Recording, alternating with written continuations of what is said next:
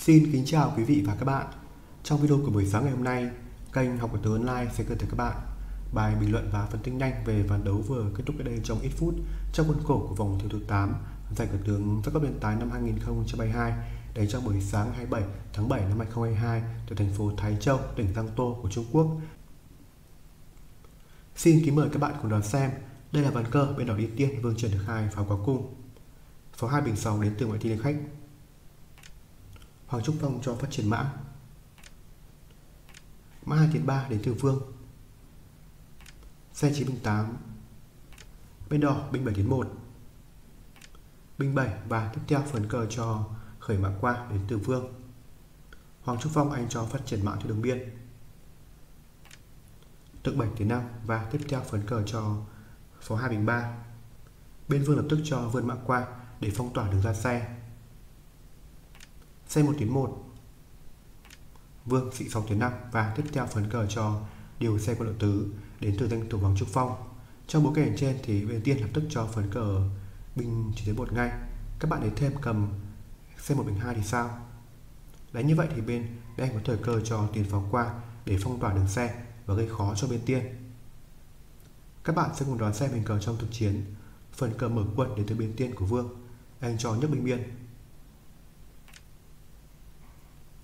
xe 4 tiến 5 và tiếp theo phần cờ cho mã chấm thức biên đến từ bên tiên. Ngoài ra có thể tách con pháo bình của đường 7. Đánh như vậy mà bên đen có bình xe qua, có thể thoát mã qua biên ngay, bắt tốt. Các bạn sẽ cùng đón xem ván cờ trong thực chiến đến từ bên tiên của Vương. Anh cho đảm mã đường biên ngay. Hoàng Trúc Phong, pháo 3 thuế 1.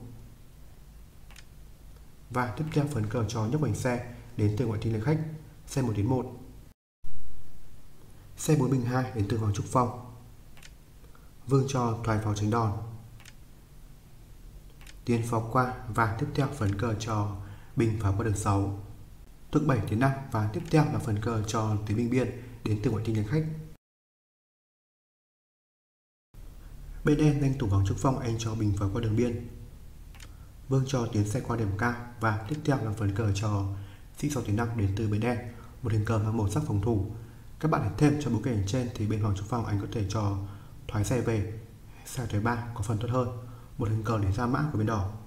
Các bạn sẽ cùng đón xem hình cờ trong thực chiến đến từ bên đen của danh thủ hoàng trúc phong, anh cho vách xích qua. Bên tiên vương binh bảy đến một, phế tốt, một hình cờ phế tốt để chuyển xe về sau.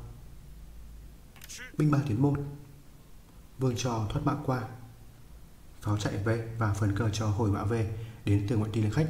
Một vài đường cờ chuyển quân khá hay đến từ bên tiên của vương. Bên đen cho nhấc bình 5 ngăn đường mạng tấn công. Vương binh 3 tiến 1 phế tốt để điều xe qua lộ 3 xe chiến binh 3 đến từ biên tiên của vương. Sau hình cờ trên thì trong thực chiến của trận hình bên đen cho chạy mạng ngay bằng phần cờ cho mã 7 đến 5 các bạn thêm trong bối cảnh đó mà cầm pháo vật qua tốt bên thì sao khi đó bên tiên có thời cơ cho tiến xe để bắt mạng ngay. Các bạn thấy được bên đen có cho tiến pháo qua để tấn công, thì bên đỏ đơn giản cho thoái tượng về thôi là phòng thủ ngay. Còn trong hình cờ trên mà cho vật à, pháo qua mạng thì sao? Khi đó thì bên tiên vẫn còn đó thì hướng cờ cho vật pháo qua để bắt lại cây. Hình cờ hơn quân đến từ bên tiên của vương. Xe bình 4 có thể cho phát triển mặc qua để phòng thủ ngay xe 4 tới 1 thì bên tiên có thể cho phế pháo ngay bằng phần cờ cho vươn mã qua để tìm cách tấn công. Các bạn thấy được rằng bên đen có quay xe về bắt lại pháo thì là phần cờ lập tức cho ma tiền 4 ngay để bắt xe. Vừa bắt xe vừa có hướng công rất mạnh bằng phần cờ cho thả mã chiếu. Ép tướng chạy qua và tiếp theo là phần cờ cho thoái tường về để mở đường cho pháo binh quân đội 4 để tấn công. Một hình cờ tấn công vô cùng mạnh dành cho bên tiên của Vương. Các bạn sẽ cùng đón xem vườn cờ trong thực chiến đến từ danh thủ Hoàng Trúc Phong. Anh lập tức cho vươn mã qua ngay, mã 7 thứ 5.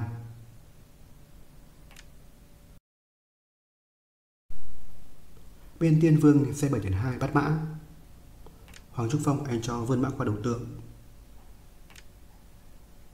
Vương cho thì binh biên, đổi mã.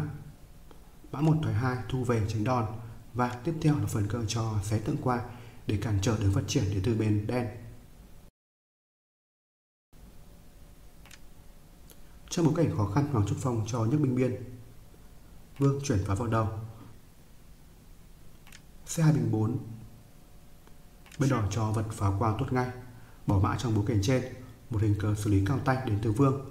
Trong hình cờ trên thì bên đen cho quay pháo về, các bạn để thêm mà cầm xe bắt mã sao? Khi đó thì Vương có thời cơ cho phế xe ngay bằng phần cờ cho bình xe đọt pháo. Xe không thể ăn qua, xe ăn qua thì bị đâm chiếu là thua ngay. Có trong hình cờ trên mà cho chạy xe đi, lập tức là phần cờ cho xe bao thuế một để bắt mã ngay, đồng thời giữ luôn pháo chiến của bên mình. Một hình cờ đã ưu thế dành cho bên tiên của Vương. Các bạn sẽ cùng đoán xem ván cờ trong thực chiến đến từ danh thủ Hoàng Trúc Phong, anh cho quay pháo về. Bên đỏ không đấu pháo lập tức cho điều xe qua, xe 1 bình 2 và tiếp theo là phần cờ cho lệch tướng quang. Các bạn thấy thêm bên đen cho quay xe về bắt mã hay sao? Xe 4 tới 2 khi đó vừa có thời cơ cho tiến xe qua để bắt pháo ngay. Một hình cờ mà bên đen không thể ăn xe qua. Ăn xe qua các bạn thấy được vẫn là phần cờ cho tiến xe chiếu. Còn trong hình cờ trên mà cho chạy xe đi lập tức là phần cờ cho điều xe bắt mạng ngay. Hình cờ quá mạnh dành cho bên tiên của Vương. Các bạn sẽ cùng đoán xem phần cờ trong thực chiến đến từ danh thủ Hoàng Trúc Phong, anh cho lịch tướng quân đội 6. Và tiếp theo là phần cờ cho tiến xe qua để bắt pháo ngay, đây đỉnh cao đến từ biên tiên của Vương, nhân vật số 1 của cái đàn Trung Quốc. Sau hình cờ trên thì trong thực chiến của trận cờ, danh thủ Hoàng trục Phong anh cũng đẩy bàn xin thua. Các bạn thấy ngay đến tiếp thì có hai bên chính dành cho bên đen. Trong bối cảnh mà cho tiến xe qua thì đấu cây thì sao? Bên đỏ vẫn còn đó thì buồn cờ cho vật pháo qua để bắt xe ngay, đồng thời giữ luôn con mã của bên mình. Hình cờ hơn quân và ưu thế rất nhiều dành cho bên tiên của vương. Các bạn sẽ cùng nhau phân tích thêm một hình cờ trong trước đó trong bối cảnh trên mà bên đen không đấu xe mà xử lý bằng phần cờ cho tách xe qua biên để thoát đòn thì sao? Khi đó vương có thời cơ cho phát triển mã qua ngay để tìm ứng công. Đan hai mã qua nhau. Bên đen phải mất nhịp chạy xe đi, khi đó là phần cờ cho bình vào qua lộ 4 ngay để tìm hướng công, một đường cờ tấn công mà bên đỏ tỏ ra quá hùng mạnh và vượt trội trong bối cảnh trên.